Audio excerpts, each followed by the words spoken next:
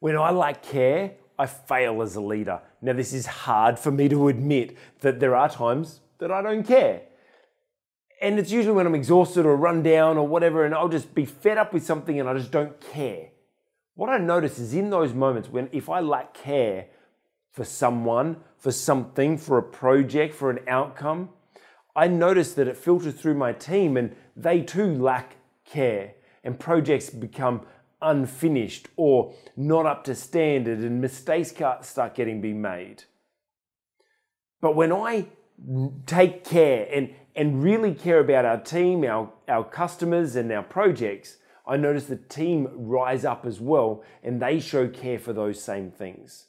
So when I lack care, I fail as a leader. So care about your people, care about your tasks, care about your customers so you can succeed as a leader.